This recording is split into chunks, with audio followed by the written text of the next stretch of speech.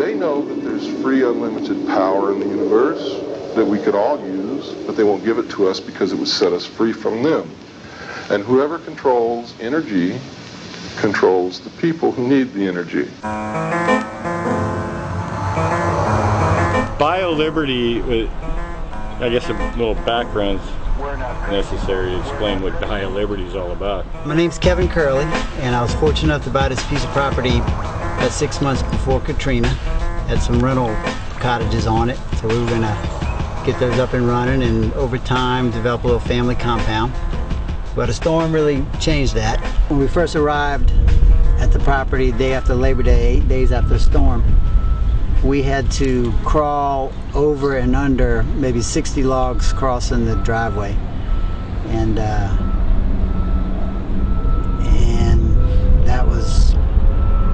pretty pretty bizarre. I mean, the you know trees that were snapped halfway up, trees that were uprooted, trees that were bent, all kind of directions. We had nine foot of water. The water came in and went out fast, which is different from what happened in the city. Within six hours, all the water was gone, and there was about an inch layer of marsh muck everywhere. Serendipitously, I run into some people that are looking for a place to camp. They're doing relief work, and it's just worked out pretty super. Just after the storm, about November, we finally were able to chop our way in here and, and start cleaning out the property. United Peace Relief uh, was bringing in medical, trained medical people and manning the free clinic in New Orleans. Veterans for Peace were uh, spending the money that we had raised uh, to do relief work on different grassroots organizations and they were sending volunteers in to help Common Ground, Emergency Communities, Plenty International who was with us from day one. They came and started working out of here for a while and then we set up another camp in Duloc. And then now they've bought a house in Arabi and are rebuilding homes in Lower Ninth Ward and, and in St. Bernard Parish. Walking to New Orleans was a march from Mobile, Alabama to New Orleans to call attention to the cost of the war and the, its effect on Katrina Rita relief. So it's been a well-used space since the storm. The population fluctuated from 5 to 20 at times and uh, went on for a year plus. The first year we volunteered, we mucked and gutted houses and brought in food and supplies and things like that, more immediate stuff. They know that there's free, unlimited power in the universe that we could all use, but they won't give it to us because it would set us free from them. And whoever controls energy controls the people who need the energy.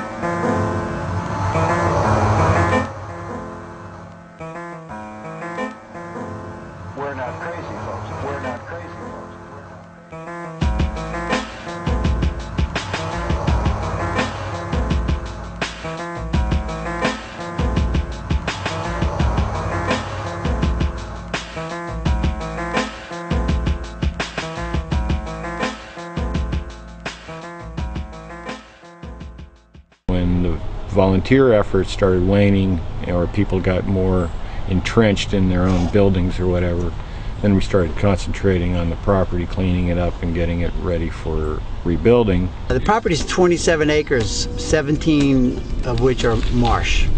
Actually marsh, we got 10 acres of height. It's a beautiful ecosystem here. It hasn't been touched by industry. So there's a lot of exchange of information going on in the camp. BioLiberty came out of these discussions with uh, volunteer groups and the different people that come in here from all over the country. We had a biodiesel bus from Maine. That was Kevin's first exposure to biodiesel. So the idea was to start BioLiberty as a demonstration project using this property as basically the backdrop for using uh, solar energy, uh, thermal energy, biodiesel energy.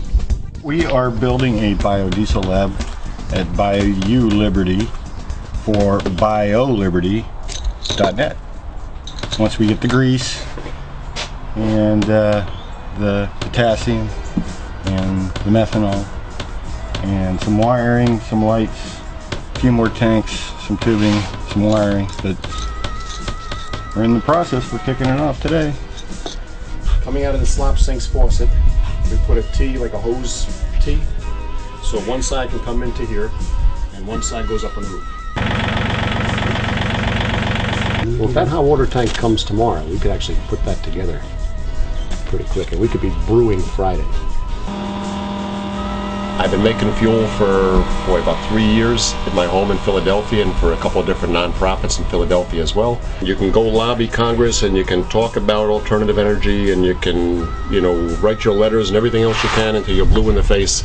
But this is a very real grassroots uh, type of process you can do that'll help to make a difference. I'm one of the dumbest people I know and I haven't bought fuel in nearly three years.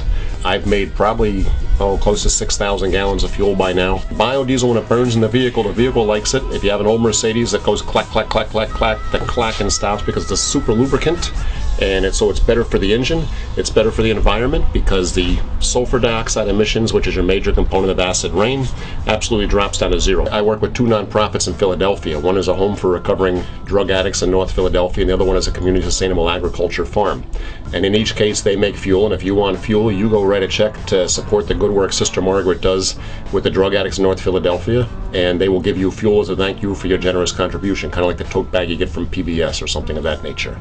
This is a small sample of our first batch of fuel. You spend a day processing, heating it and processing the transesterification, a day washing it in those two wash barrels, and a day drying it, or a little less than a day actually. And the idea is each day a load of fuel, a batch of fuel that you're making moves from one step to the next, to the next, to the next. So, in theory anyway, if things are going right, every day you can harvest a batch of fuel and start a batch of fuel. Allow tank A to mist until 2100 or so. Okay. As long as it's not turning into a white soapy emulsion, continuing to mist hurts nothing. Concerning batch two, Yeah. sorry, 002, at 130 degrees, heat goes off.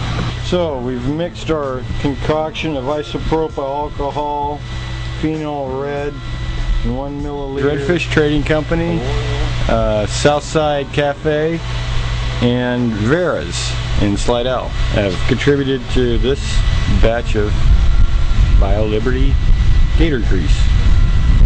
There's one. Didn't quite turn.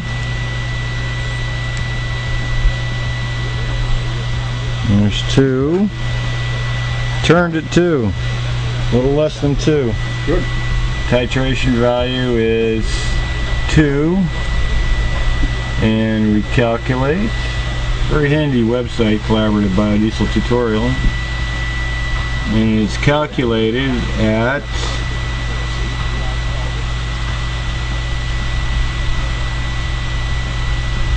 Sixteen gallons of methanol and ninety-six point one mm-hmm. Is our KOH. I think we got a handle on it.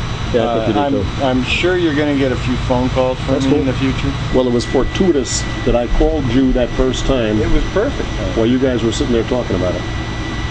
We had Bruce there, and Kevin, and we were talking about biodiesel, and I said, you know, there, there are guys out there that that build these things, and you know, we just need to put the word out there that we're looking to build it, and I think we'd get some help. As I'm telling him this, you call me. Don't figure, right? and say, I hear you're looking for a biodiesel engineer. Our capacity with the tanks that we have set up now, we can do 2,400 gallons a month. We're going to be giving it away for a donation to the organization, BioLiberty.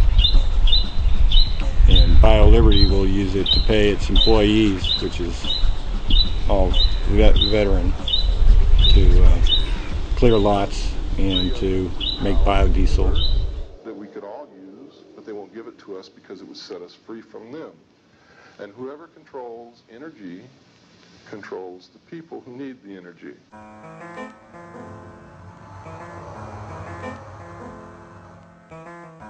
If you know anything about a little bit about electricity, a little bit about plumbing, and a little bit about your chemistry lessons in high school, you could do this.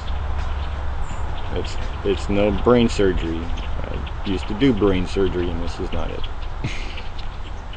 so far, we've had 100% success with the restaurants we've talked to, explaining what we do as a business, employing veterans, homeowners. They're being fined $100 a day for not cutting their lot until it reaches the asset, assessed value of the lot, in which time they seize it.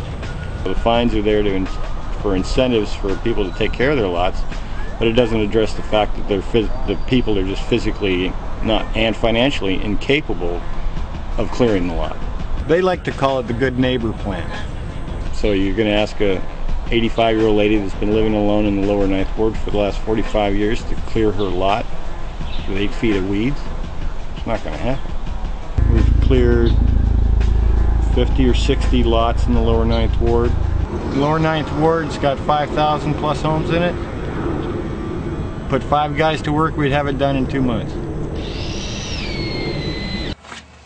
We're gonna haul the tractor down there today and do some more lots.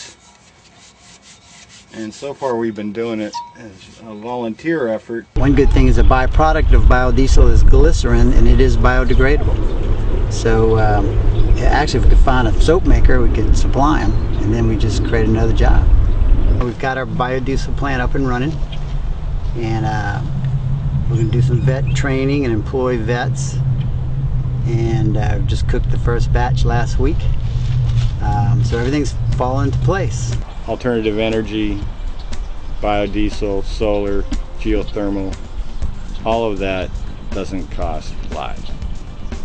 You know, biodiesel doesn't kill anybody to get it, doesn't kill anybody to make it, doesn't kill anybody to use it. So I think it's uh, not only the green thing to do, but it's the right thing to do. You know, save your grease, give it to a biodiesel guy. Uh, you're saving lives. I've done this, as I say, the nonprofit aspect really appeals to me, helping nonprofits to make fuel, use that avenue to be able to sell the fuel on the market, so to say. Greensgrow Farm in Philadelphia, they get oil from fairly high-end restaurants. They, uh, they deliver organic produce and such to restaurants in Philadelphia who in turn give them their used cooking oil from the restaurant. So it's kind of, again, that whole cycle thing, you know, recycling the oil through the uh, same place that they get the vegetables from. I was planning to come down to New Orleans do some work one time or another here soon again. So uh, this is just kind of more up my avenue and hopefully uh, more helpful to the folks down here. But no, this is a volunteer aspect. Good karma. We're not getting any government assistance. We get a few donations on the internet. You know, sweat equity. We built what we what we're doing now. We're going to utilize the biodiesel we make in, in our trucks, and we hope to be able to franchise, like cottage industry size, these biodiesel plants. So we can enable people, empower an entrepreneur to make the biodiesel, and hopefully going to be able to use that to power uh, a generator in some developments that we're looking at. Um, we're going to power our own generator. I'm going to build a net zero energy home here on the bayou. Concrete construction, solar power, geothermal heating and cooling, and the biodiesel uh, generator will be supplemental for our power.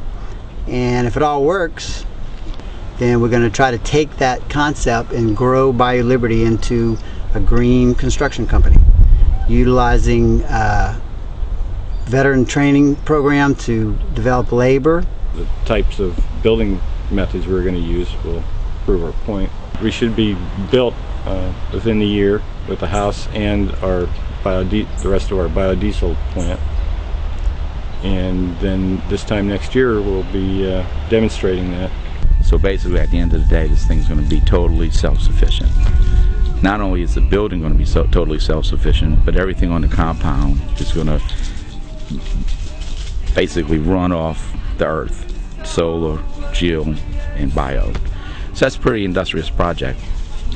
So we're taking that concept, what's being developed here, and we're bringing that over to New Orleans, uh, basically in the lower ninth ward initially.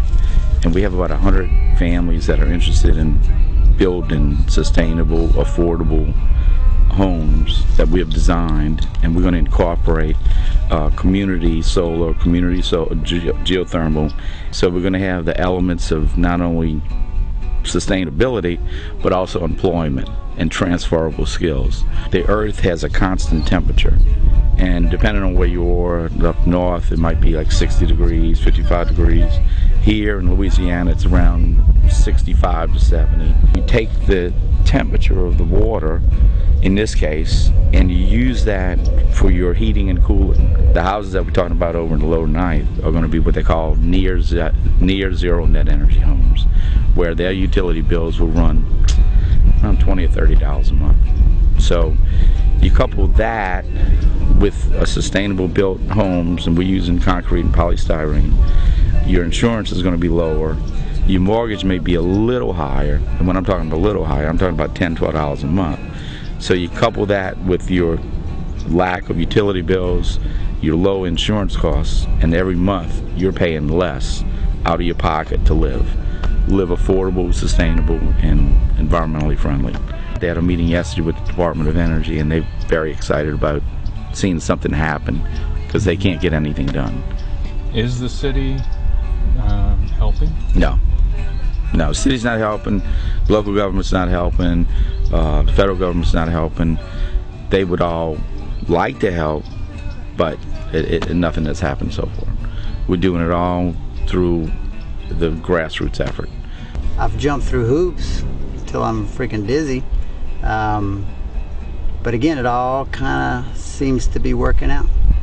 Make it happen, and then have these guys come back and say, "How did you do it?" And then we'll just take that and show them how it's done without the political maneuverings. We're not we're not politically connected. We're just making it happen. But first, we're going to start here and, you know, prove it on ourselves. We're going to use the property, build the housing the way we are, off- are offering it to others. We're going to build it out here, test it, prove it, and use it as a demonstration. So this will be a solar-powered, biodiesel-powered, and thermal heated and cooled uh, property, completely off the grid. In fact, we'll be generating power and selling it to our neighbors and turning the meter backwards, as they say. We had plans to do some solar green building here even before the storm.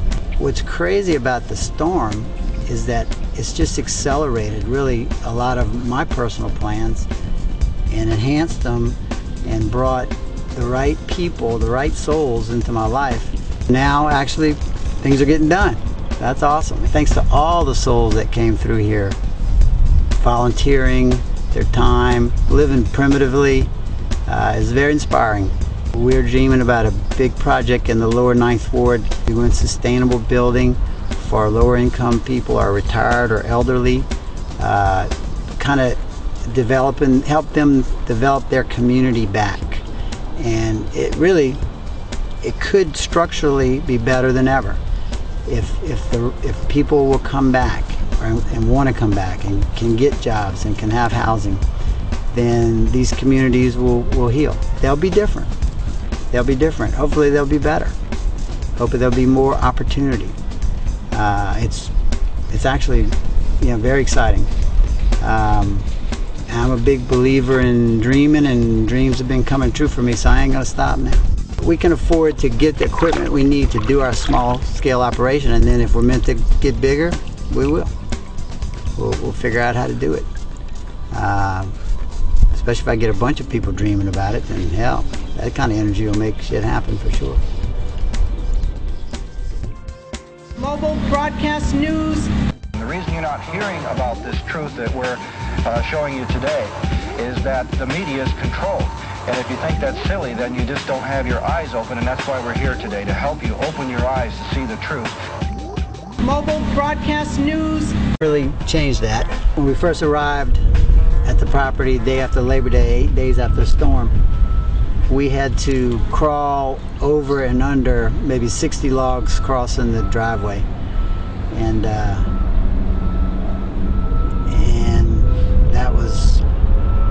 pretty pretty bizarre. I mean, the you know trees that were snapped halfway up, trees that were uprooted, trees that were bent, all kind of directions. We had nine foot of water. The water came in and went out fast, which is different from what happened in the city. Within six hours, all the water was gone, and there was about an inch layer of five to 20 at times, and uh, went on for a year plus. The first year we volunteered, we mucked and gutted houses and brought in food and supplies and things like that, more immediate stuff. They know that there's free unlimited power in the universe that we could all use, but they won't give it to us because it would set us free from them. And whoever controls energy controls the people who need the energy.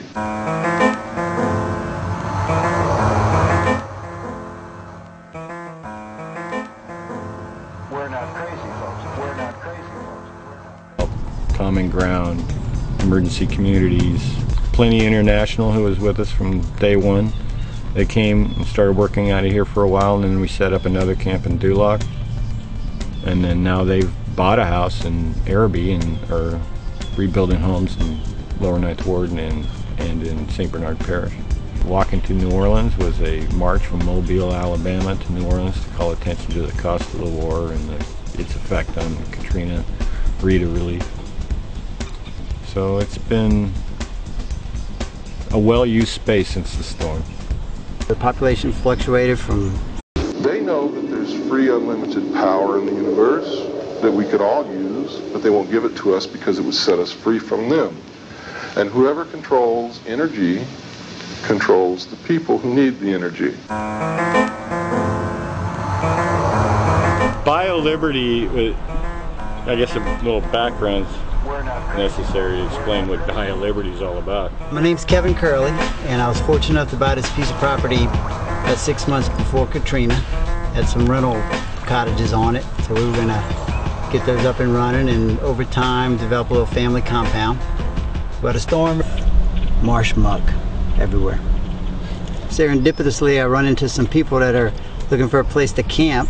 They're doing relief work, and it's just worked out pretty super. Just after the storm, about November, we finally were able to chop our way in here and, and start cleaning out the property.